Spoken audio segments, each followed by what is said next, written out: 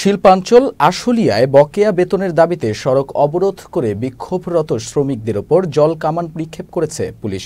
এতে ছত্রভঙ্গ হয়ে শ্রমিকরা সড়ক ছেড়ে গেলে বত্রিশ ঘণ্টা পর সড়কে যান চলাচল স্বাভাবিক হয়। এ সময় আহত হয়েছেন পাঁচজন।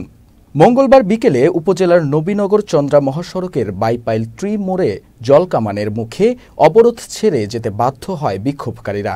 এর আগে সোমবার সকাল থেকে শুরু করে মঙ্গলবার টানা অবরোধ চালিয়ে যাচ্ছিল আশুলিয়ার জেনারেশন নেক্সট লিমিটেড কারখানার কয়েকশো শ্রমিক। পরে বিকেলে সেনাবাহিনী, শিল্প পুলিশ সহ যৌথ বাহিনীর সদস্যরা শ্রমিকদের প্রথমে বুঝিয়ে সরিয়ে দিতে চেষ্টা করে। শ্রমিকরা না মানায় এক পর্যায়ে জলকামান ব্যবহার করে আন্দোলনকারীদের সড়ক থেকে সরিয়ে দেওয়া হয়। তবে এ সময় বেশ কিছু গাড়ি ভাঙচুর করে বিক্ষুব্ধ জনতা। বা শ্রমিকেরা। কারখানাটির প্রায় চার হাজার শ্রমিক রয়েছে। এটিতে প্রায় ১৩ থেকে চোদ্দ কোটি টাকার বকেয়া রয়েছে।